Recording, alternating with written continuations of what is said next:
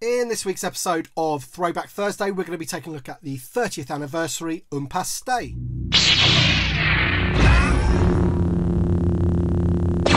Hey there, Star Wars collectors, and welcome to another Bossk's Bounty video and to another episode of the Throwback Thursday series. This is a series where I take a look at older figures from my collection, and this week we're going to be taking a look at Umpass Stay. So he is one of the drummers from Jabba's Palace. And now we're going to take a quick look at the packaging. So let's have a look. So nice big bubble on these 30th anniversary cards. You get a collector's coin. There he is in the bubble. You can see a sort of artist impression drawing of him there with the Jabba's Palace in the background there. Back of the card, we have some other figures in the wave. He is number 27 and basically he is a character from Jabba's Palace which obviously if you've got the Jabba's Palace playset which I do then you're going to want some of these other characters which is why in these Throwback Thursday videos I've been opening some of the characters that may be part of Jabba's Palace. So last week I did Hermi Odle for example. So you never know.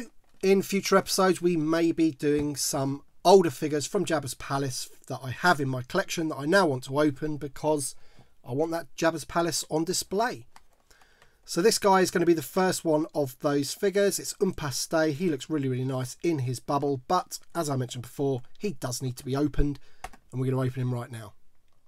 All right, so here is the figure himself. And what's apparent straight away is the lack of knee articulation, which is a massive shame. Um, he's sort of permanently in that sort of crouching, kneeling position kind of thing. A uh, bit of a shame that, but apart from that, it's a really, really nice detailed figure. So apparently he's a Klatooinian. That's what it says on the box. Anyway, he's a Klatooinian. Um, he looks like he's the same sort of species as Barada and Kithaba, perhaps. Maybe they're the same species.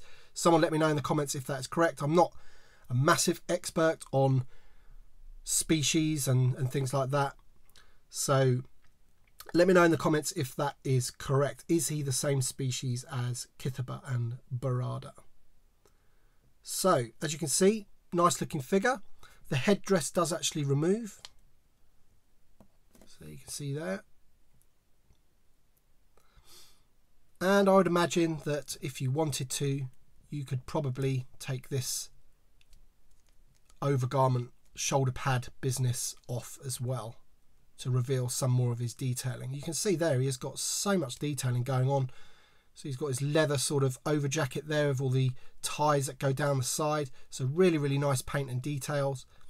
That really does look sort of like a leather effect. He's got his belt going on round there with nice paint apps. He's got all his gauntlets and stuff on his wrists. And the face Paintwork is great as well, as you can see. So really nice detail on his face. He's got that sort of cat look or dog look, if you like, sort of that scrunched up nose. And if we just put his headdress back on there. There you go. Now he does come with an accessory.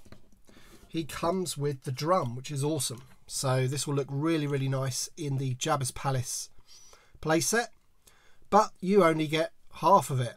So it'd obviously be very nice to get the other half. So the other half comes in a figure called Ak Rev, uh, spelled AK-REV. Uh, I believe he is part of the Legacy collection and was released couple maybe the next year. So I think this is obviously 30th anniversary. So this is 2007. I think the Ak Rev figure was released the next year, and you never know he may be coming up in a future Throwback Thursday video.